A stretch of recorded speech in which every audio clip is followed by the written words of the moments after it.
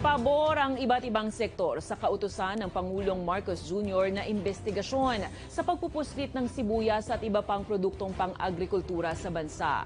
Ang Pangulong Marcos iginit, wala itong deadline sa gagawing pagsisiyasat pero dapat siguraduhing hindi hilaw ang kalalabasan ng investigasyon at mayroong mapapanagot. Ang detalye sa balitang A to Z ni Kim Salinas. Ladies and gentlemen, the President. Hindi minamadali ng Pangulong Ferdinand Marcos Jr. ang iniutos na investigasyon sa kartel ng sibuyas sa bansa.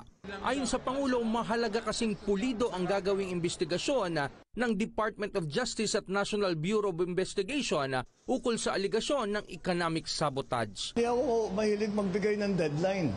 Siyempre gusto ko tapusin nila kaagad. Pero kailangan tapos, hindi hilaw.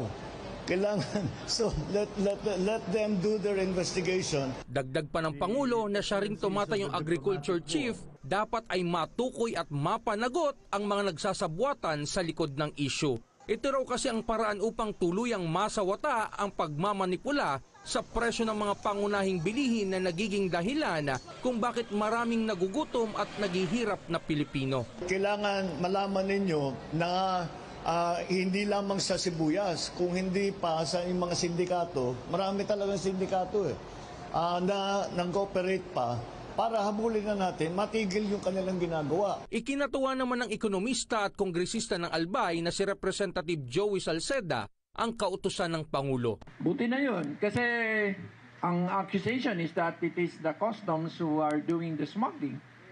So better na an external um, force to do it for us.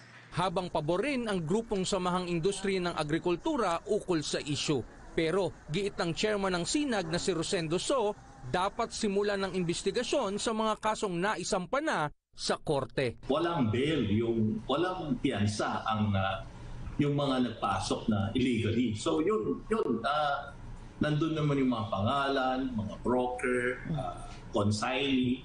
So yun, pinakamabilis ah, dapat mga yun uh, ma-file ng case para at least makulong. Dapat din anyang maisa-isa kung sino ba ang kasangkot na nasa ahensya ng gobyerno ng naturang sindikato. May paper trail yan eh, no? Ah, so, ito ba, ah, kasama ba ang ah, Department of Agriculture dun sa sindikato?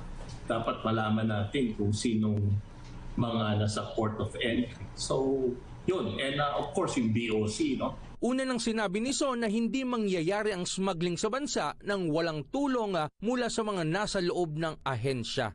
Para sa Balitang A to Z, Kim Salinas.